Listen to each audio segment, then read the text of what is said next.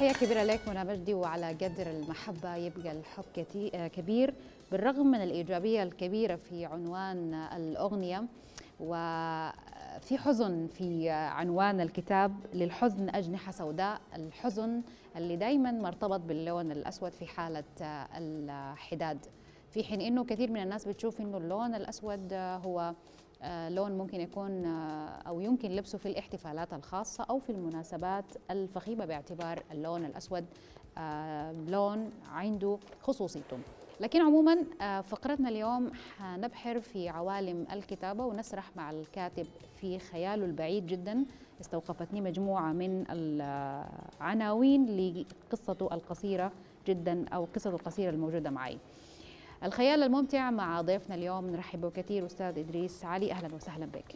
أهلا وسهلا بكم وسعيد جدا بوجودي بين- بينكم وعبركم بحيي السادة المشاهدين وأتمنى اكون ضيف.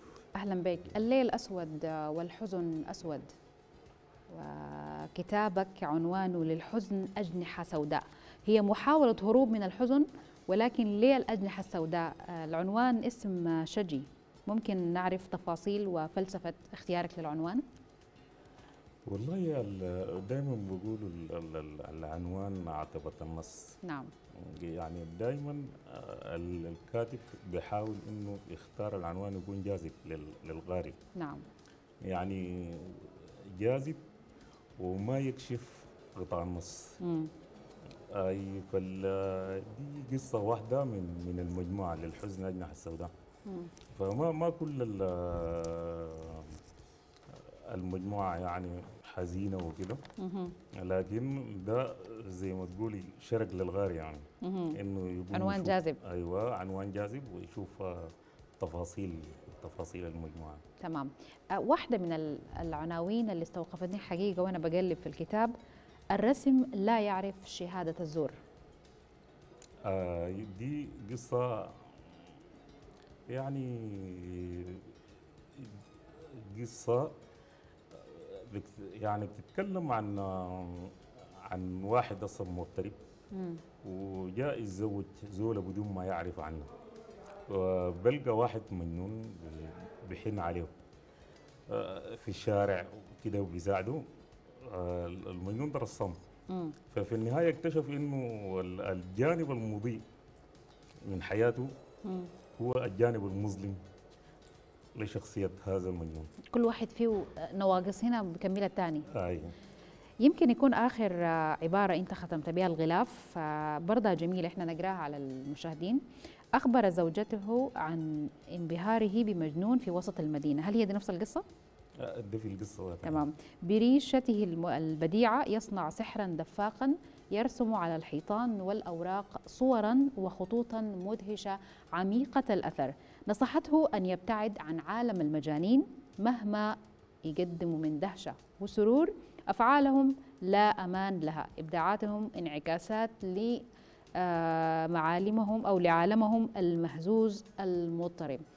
الجميل في القصة أستاذ إدريس آه، يعني أنت رسخت لي فكرة يمكن التعامل مع المجنون في حين أنه في المجتمع الناس بتخاف من المجنون وبتبعد عن أشياء حتى لو كانت جميلة والله دائما ال- ال- ال- الكاتب بكتب عن الجانب المظلم.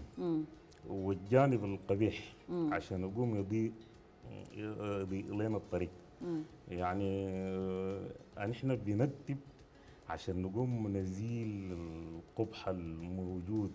في وجه هذا العالم.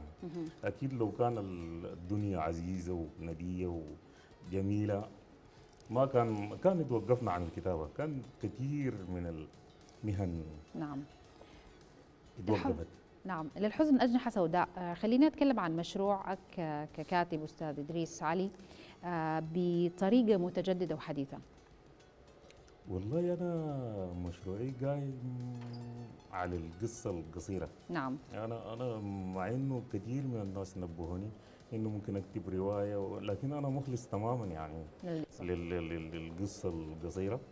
وكنت منبهر جدا بأعزاز كبار يعني سبقوني في المجال ده. أستاذنا الكبير آه، علي المك وملهمي الأول آه، الأستاذ زهاد طاهر. القاص الكبير العظيم زهاد طاير ربنا يرحمه ويغفر له ربنا يرحمه إن شاء الله فنهلت من منهم كثير جدا يعني مم. طيب. أسرار من سجن النساء أبو كارنكي آه، سرقت أحلام النازحين أنا عندي فضول أعرف آه، شكل الإلهام للكاتب من العناوين المبهمة دي والله هو ال- ال- الكاتب ما ما ما زي الإنسان العادي مم. إحساس الكاتب بيختلف عن إحساس الزول العادي. عينه بيختلف من عين الزول العادي. فأنت بتلتقط صور أصلا بتشوفها بأنها آه، بسيطة. فالكاتب إنه بسري الحياة بالحاجات البسيطه والجميلة دي يعني. البصمة المؤثرة شنو في حياة إدريس علي؟ والله يا أخي أنا هذه يكون لسه يعني ما عملت بصمة في في القصة القصيرة لكن بتمنى جدا إنه أترك يعني أترك آه، عمل آه، ضخم إن شاء الله في القصة القصيرة إن شاء الله. إن شاء الله. قرية تحت الماء؟ غريه لا. هي مشت الصفحة ما عرفتها. تحت الرماد. تحت الرماد ما شفت باقية. أيوه. طب آه، أستاذنك تقرأ لنا شوية؟ بس نشرك. معانا المشاهد. في لغة الكتابه وطريقة الكتابه للقصة القصيرة. فاختار على ذوقك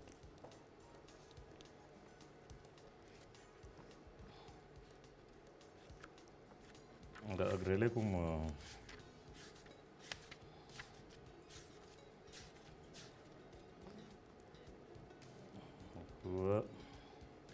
كويس. فقد عقله. آه الرص لا يعرف شهادة الزور. فقد عقله بسبب عشقه الخرافي لآنسة تخلت عنه في منتصف الأحلام. كان وفيا لها خسلته. فامتضى صهوة الجنون يجوب الشوارع والأسواق ومحطات المسافرين. وجه مألوف لدى الجميع يجيد الرسم على الجدران والأوراق. ليعبر عن حزنه المكبوت بلوحات زاهية تعبر مشاوير الخيال البعيدة. يضع ريشته جانبا بعد فراغه من الرسم. يصرخ ويضرب يده كفا بكف ثم يطلق ضحكة هستيرية تايهة. اسم محبوبته الخاينة ليلى. ليلى يا ليلى ريدك جمرة حية. يرمي عليها كل العتاب واللوم. يصمت لثواني ثم يضع يده على رأسه ويجهش بالبكاء. حضرة الأفندي عطوف على هذا الشاب لدرجة الشفقة عليه فحالته يرسى لها. يلعن الحب والظروف وتبا للحبيبة التي تركته وحيدا تايها تلتهمه قصة الأيام. لا يملك الأفندي حلا ولا سحرا لينشره من واقعه المهزوم المأزوم ولكن يقدم له بعض المساعدات. يعطيه ملابس قديمة ليستبدل ثيابه المهترئة وأحيانا يجلب له بعض الطعام والمياه المعدنية. ولكن عندما يحاول أن يعطيه بعض المال يرفضه المجنون بشدة ويظهر غضبه واستنكاره لهذا الفعل. فيقول لو أنت صاحبي بجد الفصول البايخة دي خليها. للأفندي قصة حب أخرى مشابه لقصة هذا الفتى المجنون. أحب فتاة جميلة منذ زمن مضى كان متيما بها. خلعت دبلة الخطوبة جهرا غزفتها في وجهه بكل إهانة. ثم قالت البين انتهى والجواي كمل خلاص. حاول استنطاقها ليعرف سبب الخلاف العابر بينهما لكنها أوصت كل أبواب العشم. مضت في حال سبيلها وتركته يعضي بنان الندم. صارت النهاية الحزينة لغزا لم يستطع فك شفراتها فشل بجميع المعادلات واللوغرسيمات أدرك إن أن الحب لا علاقة له بالمسائل الرياضية. هو شعور إنساني مثل الغيمة. قد يهطل هنا أو تسوقه الرياح ويهطل في بستان آخر. حبيبة من ذاكرة الزمن أجهضت أحلام الأفندي.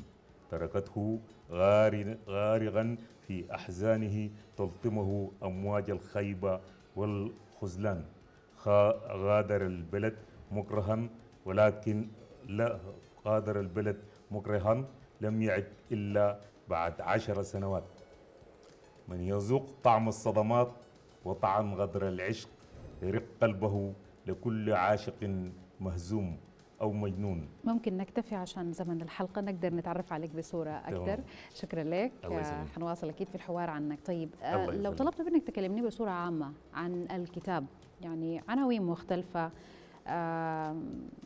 وزي ما قلت الاسم هو آه، فزلكة لل- للقارئ على أساس أنك تجذبه.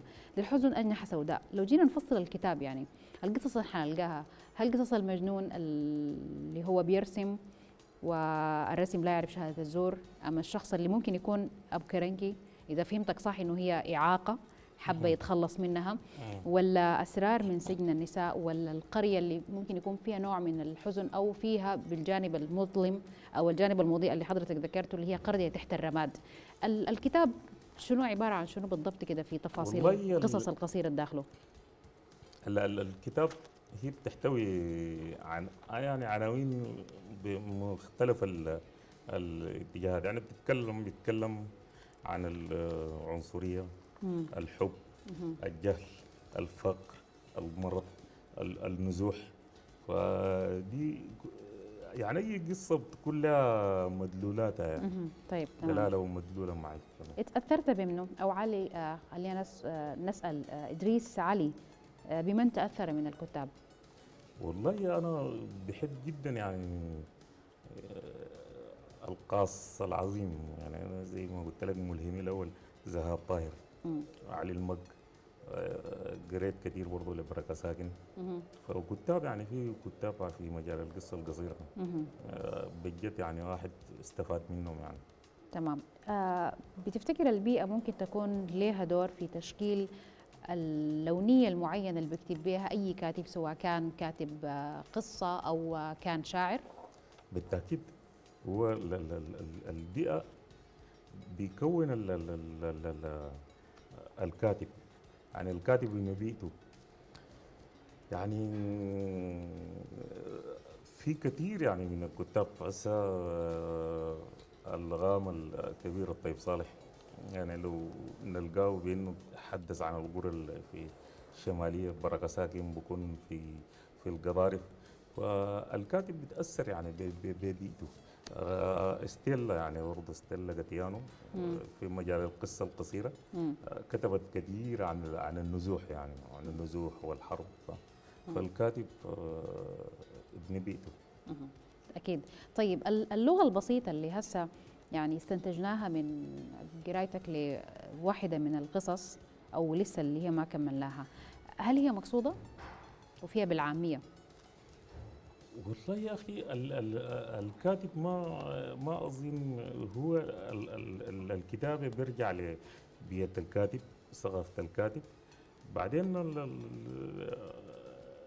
ال اللغة ال- ال- البسيطة إنه أنا في مجتمع بسيط يعني عرفت كيف؟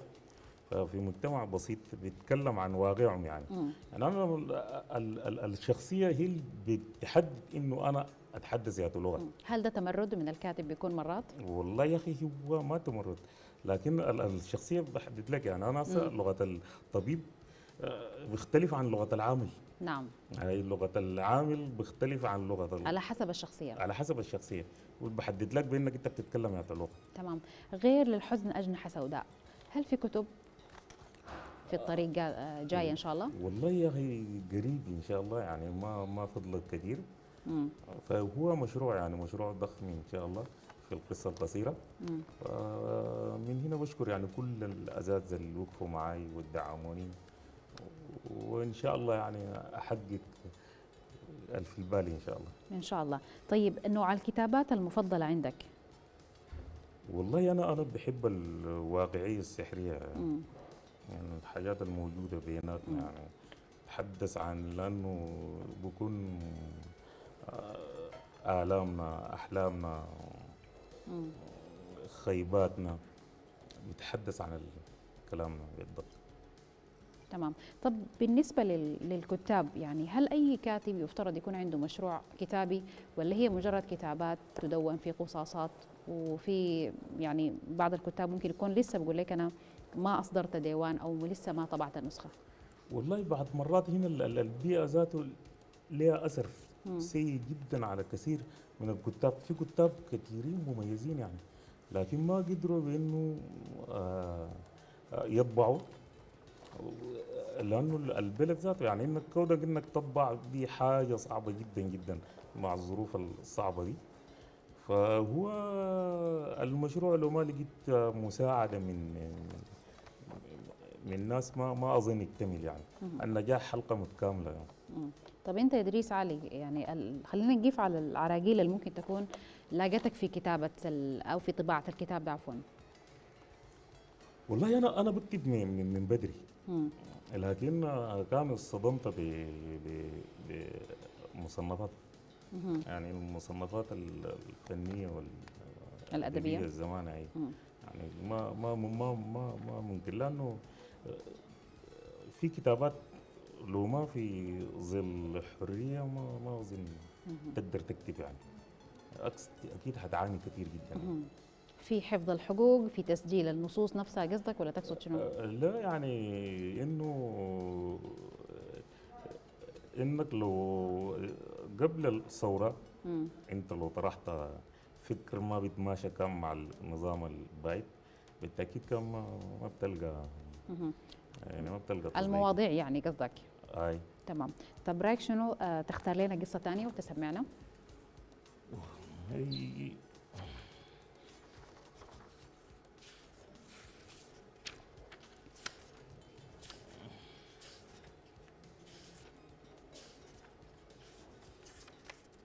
طيب آه، اختار لكم قصة تكون شوية قصيرة. مم. آه، فزع الكورونا الموجة الأولى. أنا الناس خايفة وكده شاب أربعيني في الشارع العام مستلقي على ظهري في حالة إغماء. مظهره يحس على الشفقة والعطف. كل العيون تراقبه من بعيد بتوجس وغلق. إنه الخوف من فيروس الكورونا وما أدراك ما الكورونا. قبل كل الشهامة لتقديم العون والنجة. جاء الأطرش مهرولا حافي القدمين يضرب كفيه على خديه ويقفز عاليا على أمشاط قدميه من الذعر يخرج أصواتا غير قابلة للترجمة. عرفوا من جوهر الموضوع إن هنالك أمر خطير على غير العادة. ذهبت مجموعة مفزوعة معه والأطرش يتحدث بلغة مرعبة ومخيفة بالوصف والإشارة. وجدوا جمهورا غفيرا في المكان. على بعد عشرين مترا من المصاب. أصبحت الإشاعات تنمو سريعا حتى صارت غابات متنوعة. الجميع يتحدث عن الكورونا وما أدراك ما رعب الكورونا الذي اجتاح العالم. وقف المعلم محجوب مستنيرا مع بعض الحضور. يتحدث بالشرح الوافي عن فيروس كورونا. سريع العدوى وإنه إذا عانيت الجحة وحمة عالية وصداع شديدا وألما في الحلق وفتورا حادا وضيقا في التنفس هذا يعني إنك أصيبت بالفيروس لا محال ومنظر هذا الشعب هذا الشاب وهو مغمي عليه هو آخر مراحل المرض قبل الموت. محذرا الجميع وتوخي الحيطة والحذر. والعمل بالإرشادات الصحية من تاريخ اليوم بالتباعد الاجتماعي. تحدثت رابحة مع بعض جاراتها إنها تشك في وفاة الحجة فهيمة بالكورونا إذا لم تفارق تفارقها الجحة والسعال طيلة أيامها الأخيرة. هذا يعني أن كل أهلها والجيران أصيبوا بالعدوى أثناء العزاء بالمخالطة الطفلة انشراح التقط الكلام من قلب من قلب الحدث ورجعت إلى البيت وأخبرت أمها عن حديث رابحة كيف اتهمت موت جدتها بالكورونا.